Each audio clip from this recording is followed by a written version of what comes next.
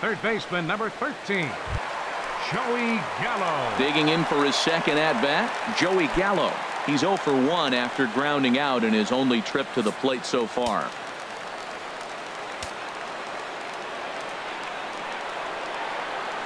He's set. Here's the 3-0. Runners off for second. Pitch is a cold strike. The throw way late, and he's in there easily at second. So a chance here to perhaps get on the board for the first time as he's into scoring position on the stolen base. And with that, we'll take a look at the current Milwaukee leaderboard to find that his total is currently tops on the roster in that department. Runners are at second and third with one down.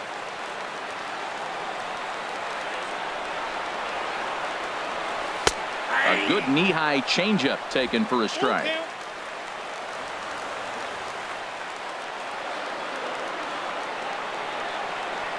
A swing and a drive sent out toward the gap.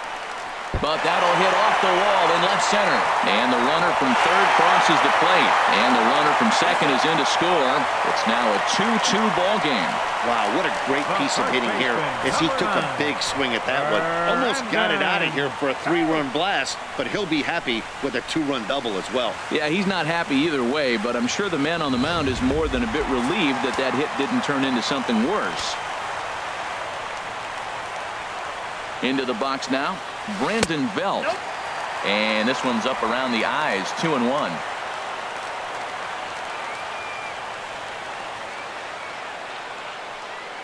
He's set and the 2-1 pitch.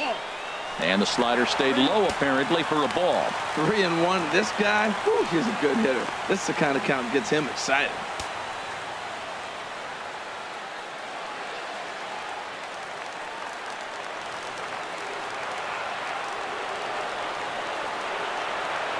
Halfway to 100 pitches. Here it is. Got him to go after the change there, and that'll run things full three and two.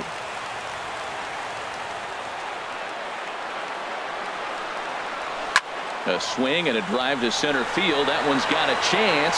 Alcantara racing back.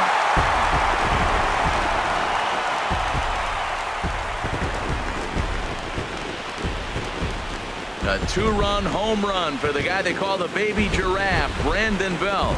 And even 30 home runs on the year. And it gives the Brewers a four-to-two lead.